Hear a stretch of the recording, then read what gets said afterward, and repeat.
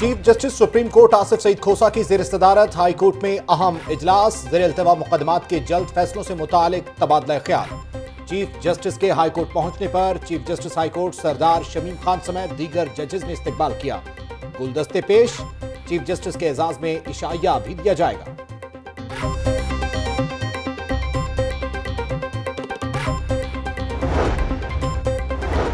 Session court کے باہر firing کا ایک اور واقعہ پیشی پر آئے نوجوان پر موٹر سائیکل سواروں نے گولیاں برسا دی نوجوان کراہنے لگا تو ملزمان نے دوبارہ آ کر کنپٹی پر فائرنگ کر دی۔ ملزم با آسانی فرار C C T V footage نے پولیس کی کفرت کا پول کھول دیا۔ پولیس اہلکار مرکزی گیٹ پر مورچہ چھوڑ کر بھاگ نکلے۔ سیشن جج خالد نواز کا فائرنگ کے واقعے کا نوٹس، ملزمان کی گرفتاری کا حکم جاری۔ مقبول بلال پسند کی شادی کیس میں ضمانت کروانے آیا تھا۔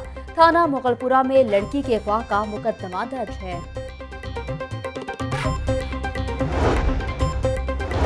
Sahiwal operation J I T کو تحقیقات میں نئی الجھن نقاب پوش اہلکاروں کی شناخت فورنزک ٹیم کے لیے بڑا چیلنج آپریشن کرنے والے کسی اہلکار کا چہرہ واضح نہیں فورنزک ٹیم کو ویڈیو سے شناخت کے عمل میں دشواری اہلکاروں کو مختلف زاویوں اور طریقوں سے شناخت کریں گے ڈی جی فورنزک لیپ چار روز کی تفتیش کے بعد گرفتار سی ٹی ڈی اہلکار لاہور سے ساہیوال منتقل۔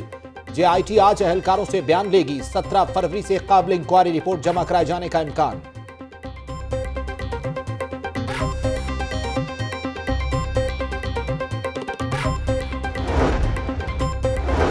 شیخ رشید نے شریف برادران پر تنقیدی ٹرین چلا دی۔ بولے کہ شہباز شریف پی ایس سی میں کسی صورت قبول نہیں، گھر بھیجا جائے۔ ساری بیماریاں ملک سے بھاگنے کے لیے ہیں۔ پتھری کے دم کے لیے لال حویلی کے مرشد پاک بیٹھے ہوئے ہیں۔ شیخ رشید کے پریس کانفرنس کہا کہ علیم خان کی گرفتاری پر کوئی احتجاج ہوا، نہ ہی واک آؤٹ ہوا۔ بلاول کے تین جملوں کے جواب میں چھ کہے، اب معاملہ ختم۔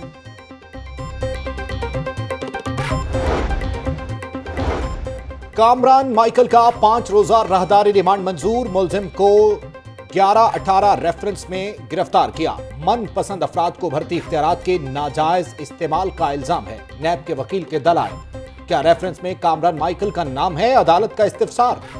ریفرنس میں نام نہیں، لیکن تفتیش کرنی ہے۔ نیب پروسیکیوٹر کا جواب۔ ریفرنس میں نام نہیں، پھر راہداری ریمانڈ کی ضرورت نہیں۔ وکیل کامران مائیکل۔ اظہار یکجہتی کے لیے خواجہ عمران نظیر میر لاہور عدالت پہنچے۔ کہا احتساب یک طرفہ ہے، علیم خان کو کوئی نہیں پوچھتا، علیم خان کو قربانی کا بکرا بنایا گیا۔ سیلیکٹڈ وزیراعظم احتساب کا عمل گھر سے شروع کریں گے۔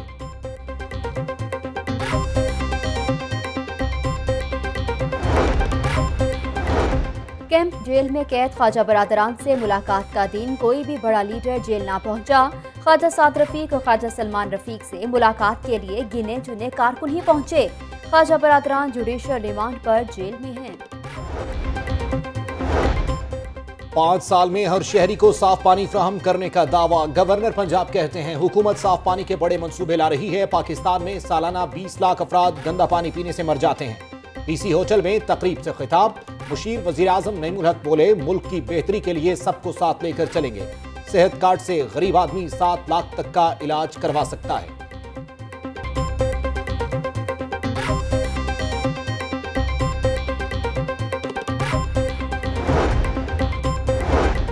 وفائی شادی کے دعوے ہوائی افسران شاہ خرچ اٹھائیس کروڑ مالیت کی ایک سو چوالیس سنگل کیبن ہائی لکس گاڑیاں خریدنے کا فیصلہ۔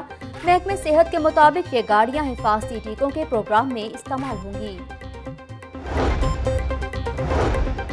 گلبرگ مین بولیوارڈ میں زیر تعمیر پلازے میں خوفناک آتش زدگی کا واقعہ۔ ریسکیو ٹیم نے ایک گھنٹے کی جدوجہد کے بعد آگ پر قابو پا لیا۔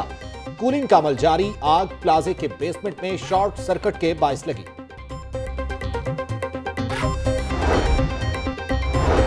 ایف بی آر کی کارروائیوں کا مقصد کسی کو تنگ کرنا نہیں۔ ٹیکس جمع کروانے کے لیے بہتر حکمت عملی ترتیب دے رہے ہیں۔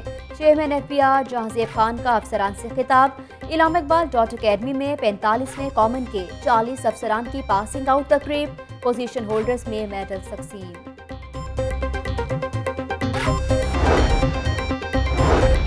سپر لیگ کے لیے سپر تیاریاں۔ کزافی اسٹیڈیم کو چمکانے کا پلان، صفائی ستھرائی کے لیے خصوصی مہم۔ ایل ڈبلیو ایم سی کے تین سو سے زائد ورکر اسٹیڈیم کے اندر اور باہر صفائی ستھرائی کریں گے۔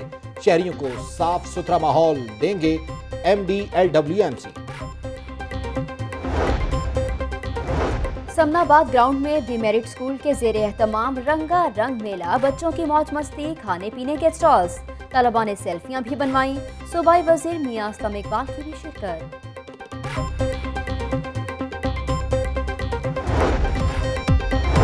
اور کامیاب زندگی کے راز الحمرہ ہال میں تعلقات میں بہتری کے عنوان پر lecture motivational speaker Shawana Mufti نے بتایا، شادی کے رشتے کی مضبوطی کے لیے سمجھوتا لازم ہے۔